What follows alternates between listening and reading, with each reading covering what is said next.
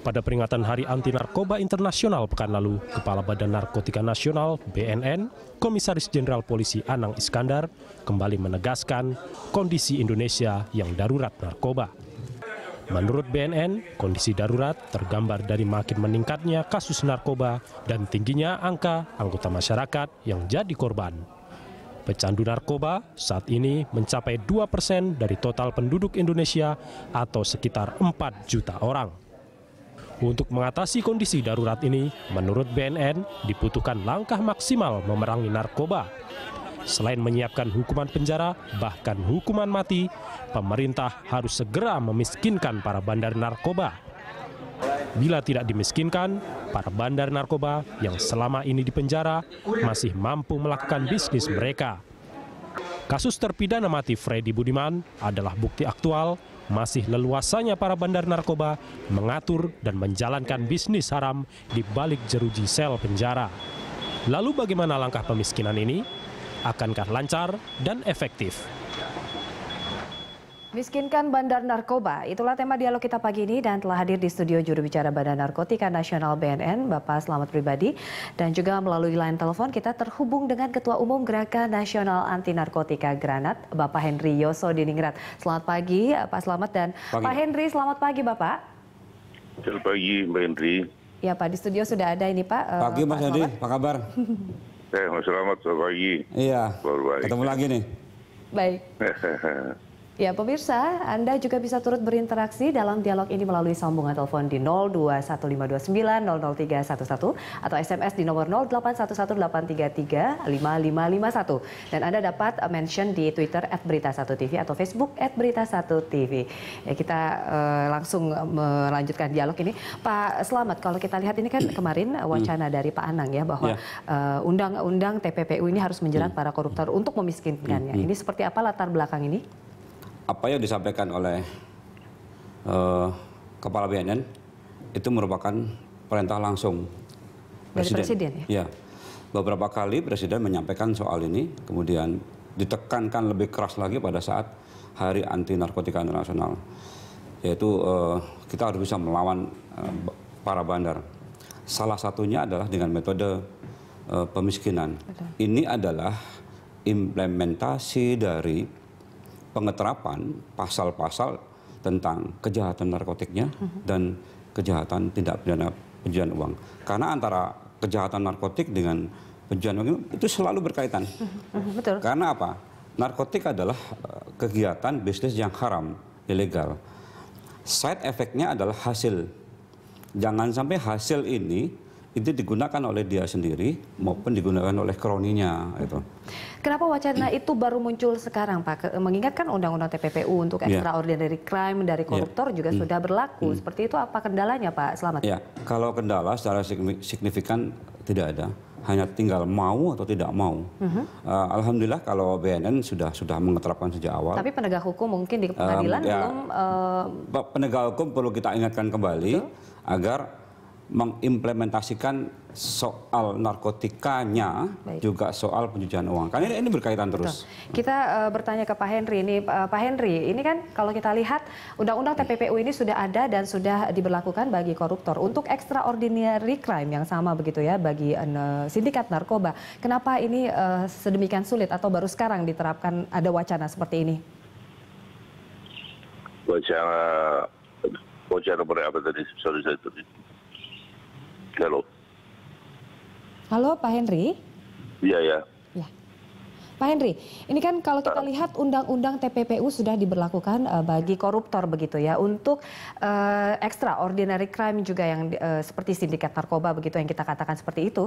Ini kenapa baru sekarang wacana ini muncul padahal undang-undang sudah ada. Adakah kesulitan dalam penerapan ini terkait penegak hukum di pengadilan? Dinamikanya seperti apa, Pak? Sebetulnya ada kesulitannya karena uh, untuk TPPU itu sendiri yang penting unsurnya itu harus ada tujuan atau maksud untuk menyamarkan asal usul menyamarkan asal usul uang itu.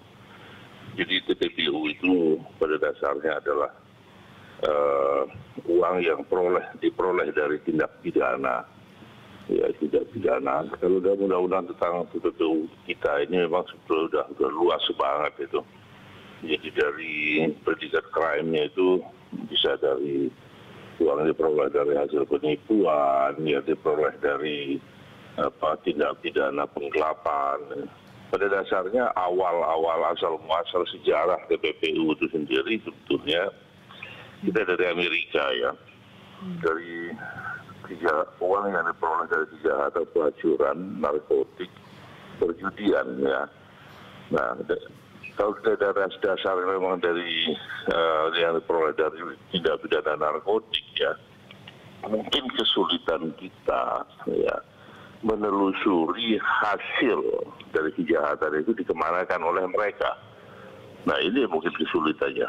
Dan lagi pula yang kedua, uh, pada umumnya di Indonesia ya, uh, pelaku peredaran gelap itu merupakan bagian dari sindikat perdagangan narkotik, bukan produsen, hanya orang yang merupakan uh, apa ya memperoleh komisi dari hasil penjualan itu, itu aja.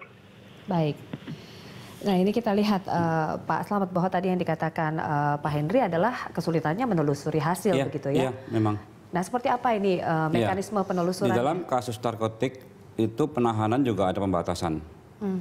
Artinya kalau kasus narkotiknya itu uh, bisa kita handle dengan cepat, hmm. meskipun hitungan bulan. Tapi kalau dalam kasus pencucian uang, hmm. uh, dalam hal penyitaan aset itu memang butuh waktu. Uh-huh. Inilah kadang-kadang penyidik narkotik memang agak agak agak terkendala sedikit. Uh-huh. Tetapi apa pun yang terjadi, uh-huh. aplikasi di dalam penyitaan aset dalam hal ini adalah tindak pidana pencucian uang yang berhubungan dengan kasus narkotik uh-huh. itu harus diaplikasikan, harus diimplementasikan. Baik. Supaya apa? Uang ini tidak digunakan kembali. Nah, uh-huh. Uh-huh. Ini adalah uang uang haram uh-huh. dari sisi apa yang disampaikan oleh Mas Henry tadi. Uh-huh berasal dari kejahatan itu harus harus disita. Baik. Cara membuktikan aset-aset milik para bandar ini begitu Pak eh, bahwa kalau kita lihat uh, yang sekarang ini uh, terjadi bahwa PPATK nanti hmm. akan mendapat laporan lebih dulu ya dari ya, BNN ya. sendiri hmm. begitu. Nah, modus-modus operandi dari para bandar ini untuk menyelamatkan aset mereka hmm. artinya hmm. Uh, melalui layering begitu hmm. dimasukkan ke hmm. beberapa nama keluarga ya, seperti betul. apa sih Pak? Modusnya macam-macam. Uh, kalau ada dalam bentuk placement langsung digunakan, langsung hmm. ditempatkan, langsung dipakai. Ada juga yang layering, ada juga yang uh, integration. Hmm. Itu misal gini, kita dia memperoleh uang hmm. uh, melalui melalui banking. Kemudian oleh oleh dia digunakan sebagai uh, bantuan ke masjid hmm. atau untuk gereja hmm. atau bisa juga untuk uh, tra membuat travel atau perkebunan. Kemarin kita sita di di Aceh itu untuk perkebunan. Nah, itu dilapis-lapis. Kemudian perkebunan itu tanahnya misal atas nama dia sendiri atas nama uh, istrinya anaknya keluarganya. Mungkin atas nama kucingnya juga ada juga di situ. Iya. dilapis-lapis oleh dia. Inilah yang kata Mas Yani tadi membutuhkan waktu untuk melacak.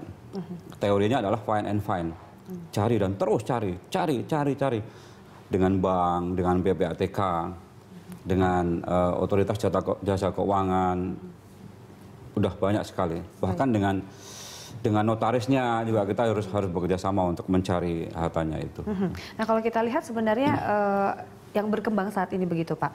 Ini bagaimana agar bisa memberikan efek jerah begitu. Artinya kan ini kan mereka uh, setiap tahun modus operandi ini juga uh, berevolusi begitu ya Pak ya. Artinya harus ada begitu uh, kalau kita lihat triggeringnya adalah uh, bagaimana sinergitas dari para stakeholder begitu Pak. Artinya seperti apa nih? Hmm. Tidak ada pilihan lain. Para penegak hukum harus menyatu, harus uh, bekerja sama. Apa perintah dari presiden adalah perang terhadap para bandar. Uh di dalam di negara-negara lain kita lawan bersama-sama untuk untuk menghadapi uh, bandar. Karena apa? Negara ini harus menang menghadapi bandar Baik. narkotika. Negara ini harus lebih kuat daripada para bandar. Hmm. Kalau tidak, maka negara ini akan dilecehkan oleh para bandar. Korban-korban akan berjatuhan. Hmm. Oleh karena itu, financial fraud, mekanisme keuangan dia, harta dia dari kejahatan narkotik harus kita sita. Kemudian sitaan itu kita kembalikan kepada negara prosesnya, kemudian kita kembalikan kepada penyidik yang berprestasi menangani itu untuk biaya operasional uh, penyidikan. Kalau di narkotik sekaligus untuk biaya rehabilitasi ya, itu kira-kira. Baik, uh, Pak Henry ini nanti kita akan membahas bagaimana memperlakukan extraordinary crime uh, di negara darurat uh, narkoba begitu yang dikatakan Pak Anang ya. Kita bahas sesaat lagi Pak Henry, kita jeda dulu. Mas Slamet, kami akan kembali setelah uh, jeda berikut.